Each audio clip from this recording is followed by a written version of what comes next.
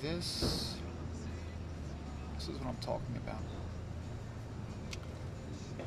This is what I mean. I'm talking about death, time, futility. These are all just larger ideas. Basically things we tell ourselves to society. False illusionment.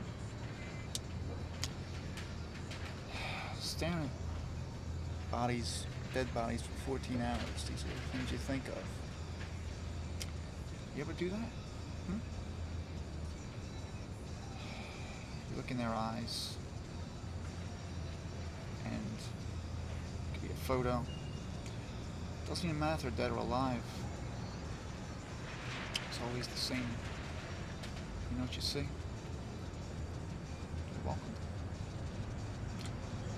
At first. We're scared, terrified what was coming.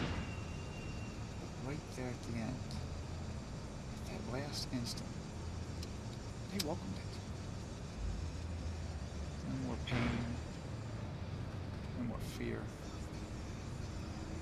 They just knew they didn't have to hold on so long anymore.